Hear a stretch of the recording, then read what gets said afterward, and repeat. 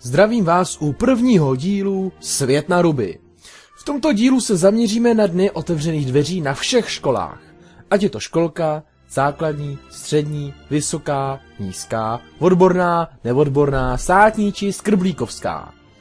Víte, jak zjistíte, že vaše škola pořádá den otevřených dveří, tedy dny, kdy může veřejnost a v podstatě jakákoliv havěť přijít do vaší školy a podívat se, jak je zrovna ta vaše škola legendární bez toho, aby vám to někdo řekl, či jste to někde vyčetli?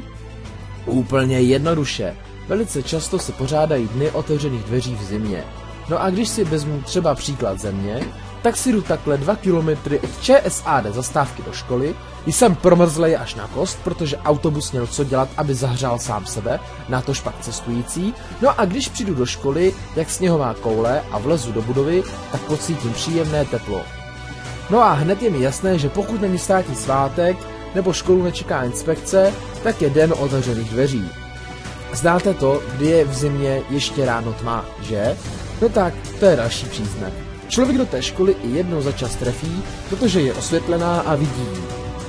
Člověk by snad v tu chvíli řekl, že je snad někde jinde a nebýt známých tváří, které v okolí potká, možná by tomu i uvěřil. Na co narážím? Narážím samozřejmě na to, že pokud se chystá den otevřených dveří, tak je škola taková, jaká by měla být furt. Snaží se nalákat studenty na to, jak je škola žužo labužo a chce získat studenty, aby měla peníze na příští rok, aby se studenti nemuseli učit v iglu. Mám někdy chuť říct těm bažantům, co je vidím, jak na tu školu kouká, jak na Ježíše Krista, aby se honem otočili a pokud nechtějí ve třídě sedět o hodinu se zimní bundou a kapucou, tak ať honem vyzmiznou. Samozřejmě jim to neříkám, protože by pak nebyla prdel, je další rok vědět, jak si na danou školu stěžují právě kvůli výše zmíněným událostem. Takových případů, co škola dělá, jen když jim jde o životnost nebo o peníze, je víc. Já jsem vybral asi ty nejvíc všeobecné. Souhlasíte se mnou? Máte podobné či stejné zkušenosti? Nebo je to u vás jinak?